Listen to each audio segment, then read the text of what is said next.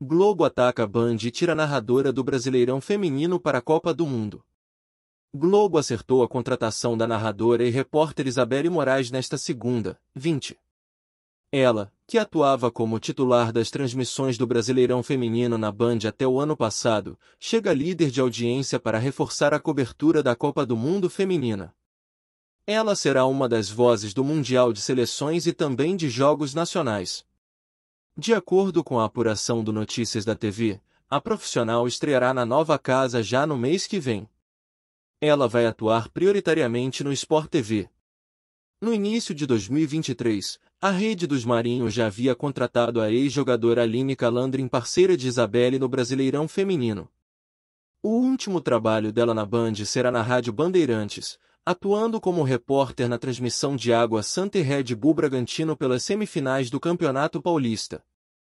Ela também atuou na mesma função durante a Copa do Mundo Masculina no Catar em 2022. Com a contratação, Isabelle retorna para a TV por assinatura. Ela começou sua carreira em 2018, revelada no projeto Narra Quem Sabe, do Fox Sports, de 2012 a 2022.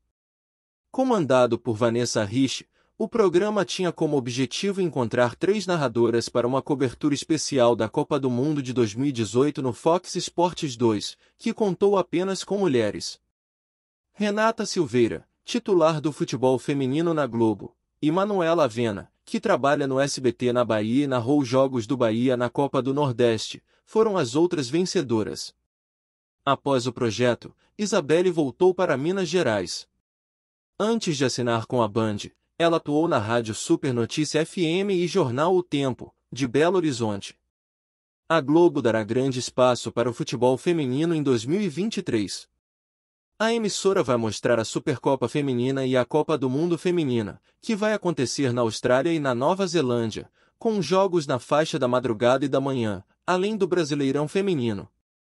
Por Gabriel Vaquera é especialista em mídia esportiva desde 2014.